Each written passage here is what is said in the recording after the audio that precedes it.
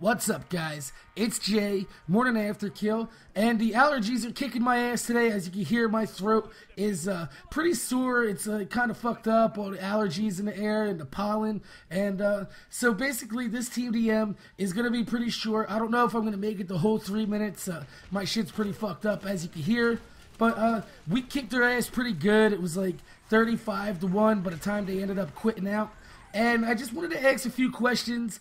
Number one is uh, it seems last night PS3 got updated for Gotham City Impostors, and they're reporting that they released the wrong DLC on PS on PS3 last night. They're saying that the uh, DLC they got last night ended up being uh, the Arkham Asylum map, and they didn't get the uh, conch shell or the boarded party, which is kind of funny. So if you do play on PS3 and you can confirm this, uh, go ahead and leave something down in the description or the comments below. And uh, I'm really interested in this because if they do have a map that they we don't have on the Xbox, then I might actually have to sit through and update my PS3 for like eight hours so I can actually play that because I would love to see this new map. I love Arkham Asylum. The game was pretty cool, and I would love to see the translation into Gotham City Impostors because Arkham Asylum is one of the like hugest places in Batman history and lore. Uh, it's always where Batman sends his bad guys,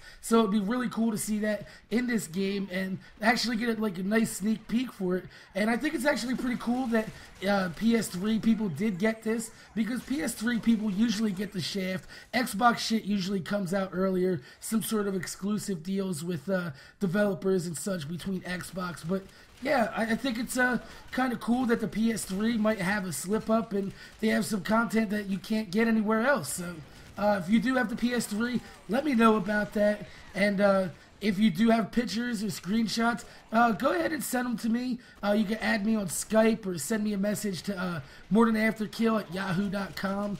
I check that email at least once or twice a day, so I will get them there.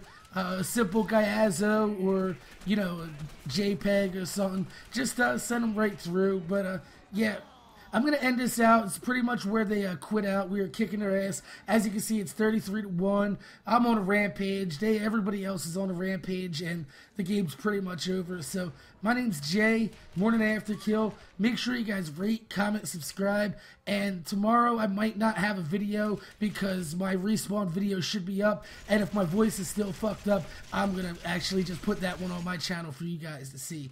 Make sure you guys rate, comment, subscribe. See you guys later.